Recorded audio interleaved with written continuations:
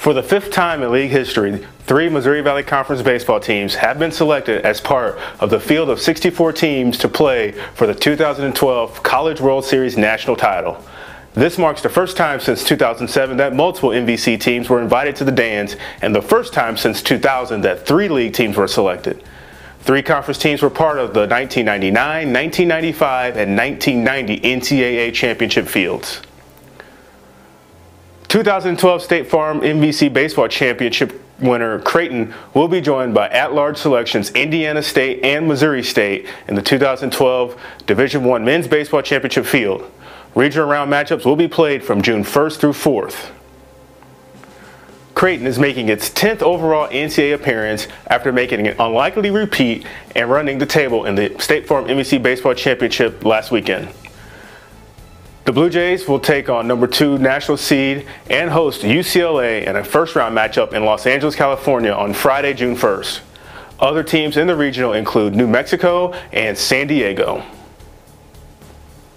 Indiana State is making its eighth overall NCAA appearance and earning an at-large bid after winning its first outright regular season title in school history.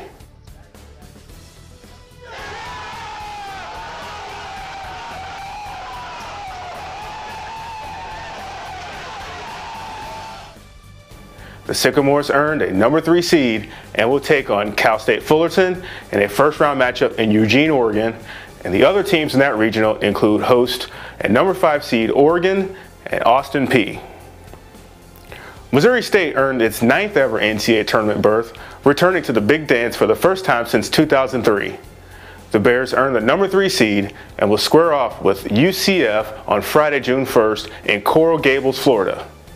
Other matchups feature host Miami and Stony Brook.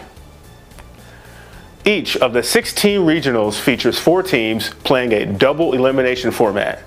The regionals are scheduled to be conducted from Friday, June 1st to Monday, June 4th if necessary.